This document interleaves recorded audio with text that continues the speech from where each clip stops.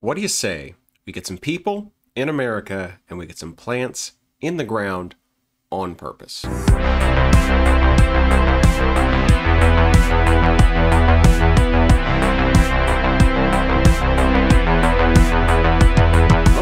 so this is the second section of the lecture for Module 1. We're going to get some people in America, as I said, and get some plants in the ground on purpose, by which I mean agriculture. The Americas were the last place, uh, major place, to be populated by humanity. The last, last place is New Zealand, actually. But the last major, let's say, continent that's going to contain humans in our story this semester is the Americas. The earliest confirmed date of human presence in the Americas is 12,000 BCE, uh, sometime, some 40,000 years after humans uh, had already populated Eurasia as well as Australia, so it's a pretty long time until humans make it into the Americas. Homo sapiens were the only type of hominin to make it to the Americas, so there's no Neanderthal, there's no, I don't know, Australopithecus.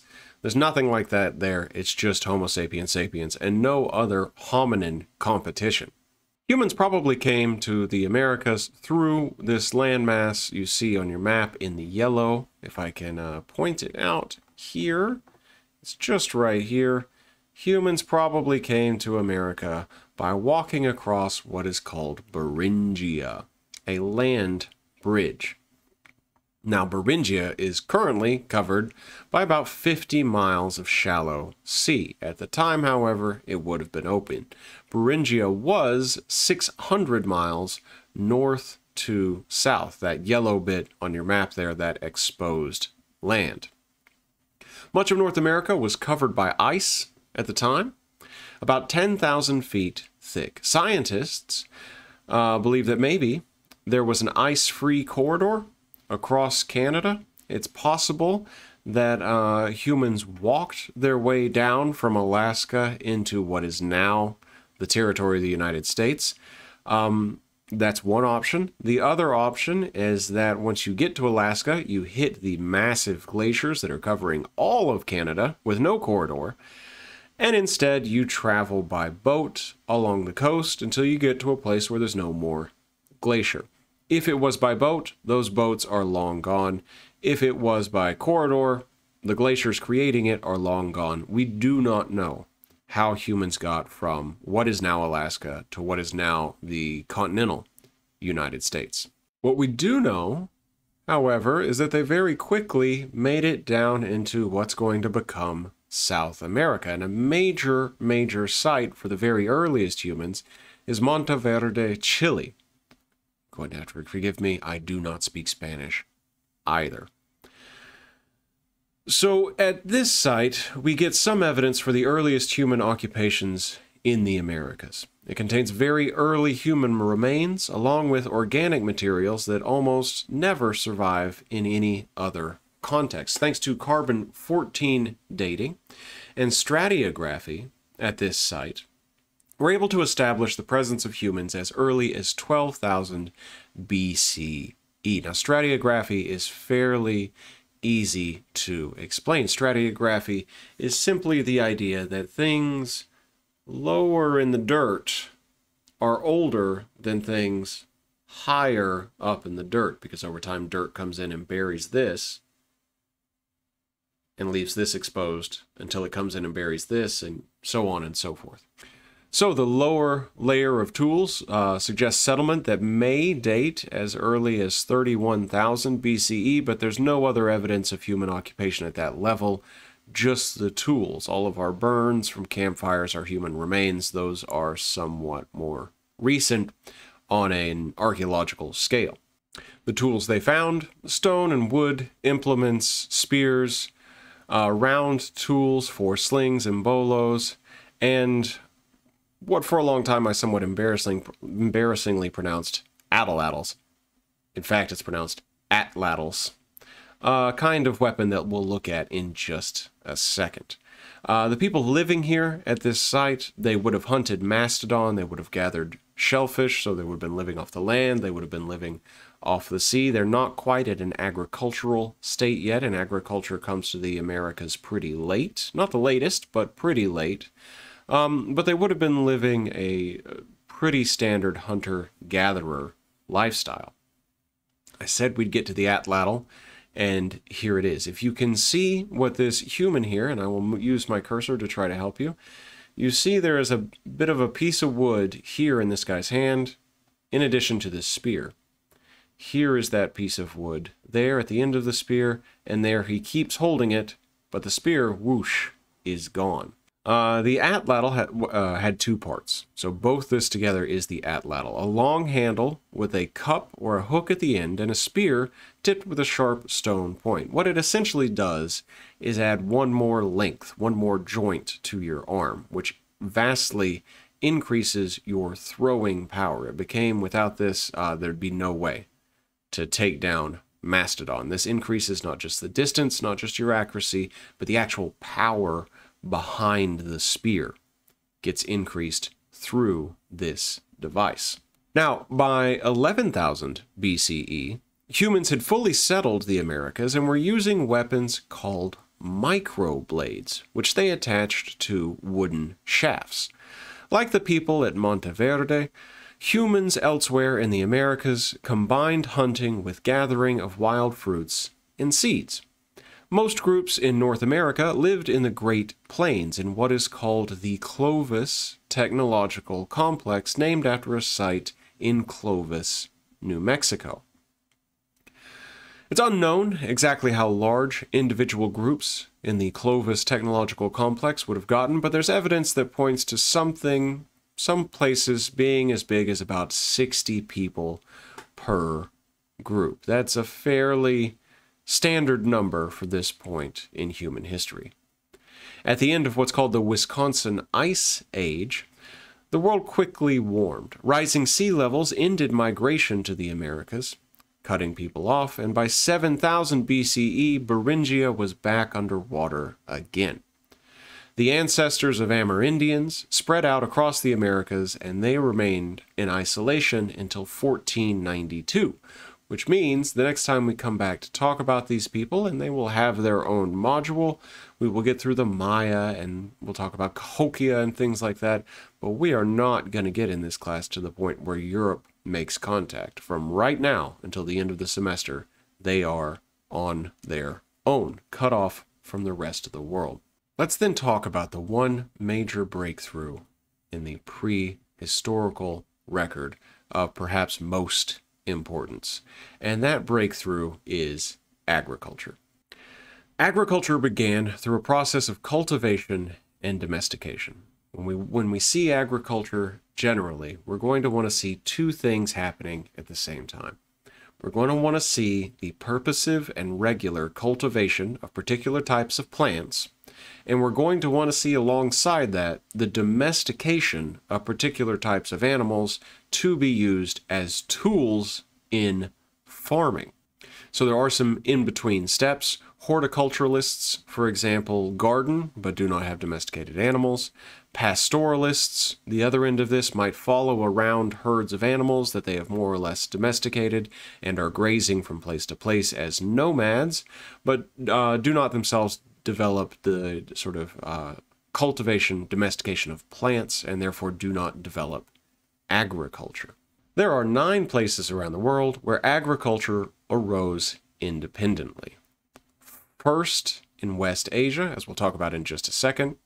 By 8000, it's in the Yangtze River Valley in China. That same date, roughly, it's in East African highlands. 7000 BCE, the Indus River Valley in Pakistan. 5000 BCE, it's made it to Southeast Asia. That same date, roughly, it's in New Guinea, it's in central Mexico. 4000 BCE, the Peruvian, Peruvian Andes, and by 3000 BCE, sub Saharan Africa also becomes an agricultural society. Everyone's growing different things, but everyone's learning to grow and cultivate plants more or less on their own. Who got it kicked off? Well, The group of folks that got it kicked off first are a group of people called the Natufians. These are the first people that we know of to plant seeds, domesticate animals, and cultivate crops. I recently heard, and this will contradict what I'm about to say, that the oldest cultivated crop, at least cultivated by humans, are almonds. If that's the case, we might need to uh, correct what your textbook has to say. Your textbook claims that it is, in fact, figs. So the Natufians live in this region here. You can see the green there of Mesopotamia. And Natufians began cultivating their first crop around 9400, 9400 BCE, again, figs. We know this because the figs that they ate did not contain seeds. So this means that they've been going along selecting uh, strains and selecting strains until they were able to make one that produced a seedless fig. And if they're not replanting seedless figs, who's doing it? Hold on, you say. How is it that they are able to keep moving on with these figs that are aren't producing seeds? If they're not producing seeds, how's the plant reproducing at all? Well, has to do with how easy it is to grow figs. With figs, you don't have to start from seeds. It's fairly easy to just transplant a cutting. So you cut a little bit of a branch off, stick that bad boy in the ground, water it, wait a bit, you've got yourself a brand new fig tree, and this is what the Natufians were doing. The next crop that the Natufians cultivated was grain. Natufians gathered grain at first, but eventually selected grains uh, based on essentially the strength of the stem. So they would select for and replant grains that had stronger stems so they could hold up against winds and that had thinner husks around the seeds so that it was easier to remove the husk and easier to eat the grain inside.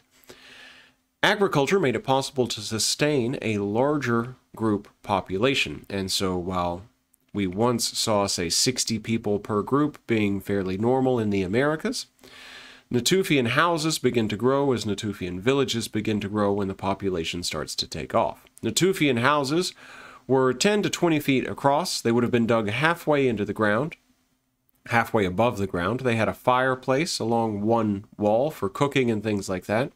And in this new and exciting world of agriculture, Natufian groups had gone from, again, our sort of 60 or so as the norm, to 150 to 250 people in just one group. They domesticate dogs sometime after the year 30 thousand, and continue to go on to domesticate goats, sheep, and cattle as farming tools. And there we go. We have our cultivated plants, we have our domesticated animals as tools. We have full blown agriculture. The largest Natufian settlement was Jericho.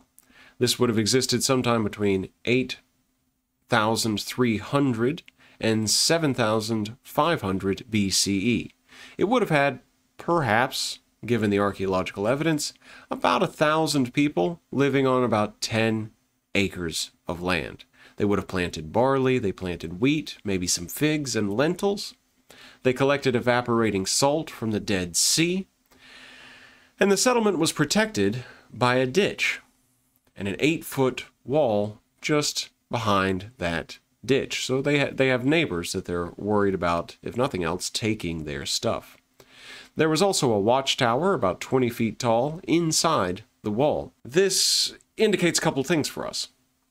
This indicates that the Natufians, this early, once you have cultivation of plants, once you have domestication of animals, meaning agriculture, you're getting a city plan together, and you're getting probably someone at the center of that city who is able to, for one reason or another, control the excess crops produced in that city and use that control, perhaps not very strong, but control nonetheless, use that control to plan and realize pretty significant for its time public works projects the ditch, the wall, the tower.